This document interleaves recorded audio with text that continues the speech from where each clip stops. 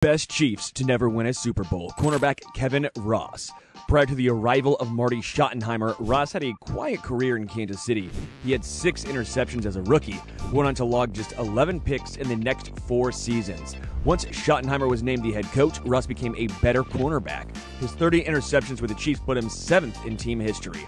Ross scored a touchdown in four different ways during his time with the Chiefs off two interceptions, two blocked field goal returns, a blocked punt return, and a fumble recovery. He is one of three Chiefs to score a touchdown in at least four different ways, according to the Kansas City Star, making him one of the